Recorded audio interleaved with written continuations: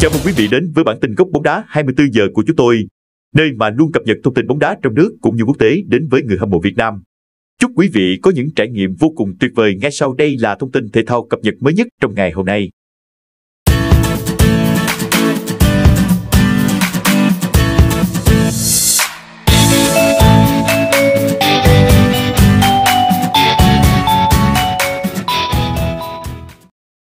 Tin bóng đá, ngày 30 tháng 12. Nhận định bóng đá, Myanmar với Lào, 17 giờ ngày 30 tháng 12. Myanmar với Lào gần như đã hết cơ hội đi tiếp. Tuy nhiên, thầy trò huấn luyện viên Anthony Hay vẫn hạ quyết tâm giành 3 điểm trước đối thủ để gỡ gạt thể diện ở AFF Cup 2022. Phong độ gần đây của Myanmar với Lào Myanmar và Lào là hai đội bóng duy nhất ở bảng B vẫn chưa có điểm số nào kể từ đầu giải. Myanmar để thua hai trận đầu tiên trước Malaysia và Singapore. Trong khi đó, Lào nhận ba thất bại liên tiếp trước Việt Nam, Malaysia và mới nhất là Singapore. Với việc tiếp tục trắng tay trước Singapore trên sân nhà, Lào chính là đội bóng đầu tiên ở bảng B sớm phải chia tay AFF Cup 2022. Myanmar dù chưa có điểm nào, nhưng mới đá hai trận. Trên lý thuyết họ cùng với Việt Nam Malaysia và Singapore vẫn còn có cơ hội đi tiếp nếu như thắng cả hai trận còn lại.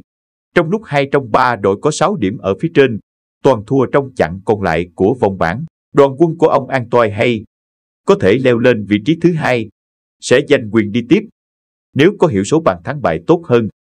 Dù vậy, đó chỉ là tính toán trên lý thuyết. Còn thực tế sẽ rất khó cho Myanmar hy vọng vào một kịch bản có hai điều kiện xảy ra cùng lúc ấy. Dẫu vậy, nói thế không có nghĩa là Myanmar sẽ sớm buông súng. Đội quân của huấn luyện viên an toàn hay chắc chắn không muốn chia tay giải đấu mà không có bất kể chiến thắng nào.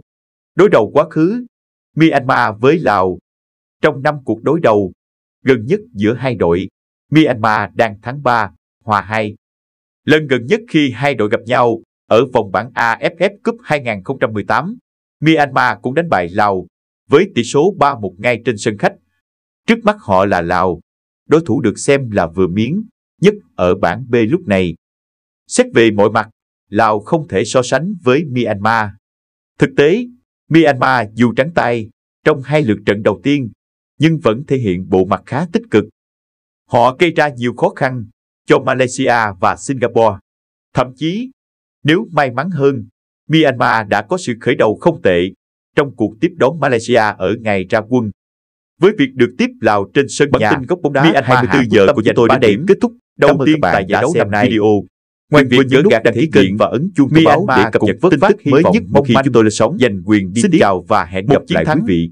Thậm chí là thắng đậm trước Lào sẽ làm bàn đạp giúp các học trò huấn luyện viên an toàn hay tự tin hơn khi đến làm khách ở sân Mỹ Đình của Việt Nam tại lượt trận cuối diễn ra hôm 3 tháng 1.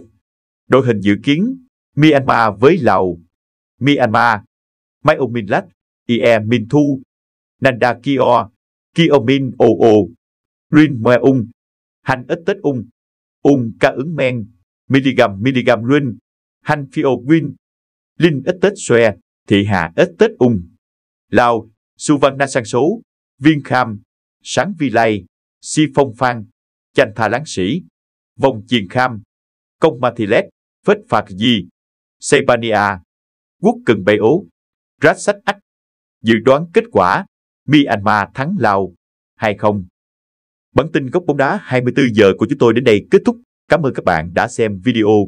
Đừng quên nhấn nút đăng ký kênh và ấn chuông thông báo để cập nhật tin tức mới nhất mỗi khi chúng tôi lên sóng. Xin chào và hẹn gặp lại quý vị.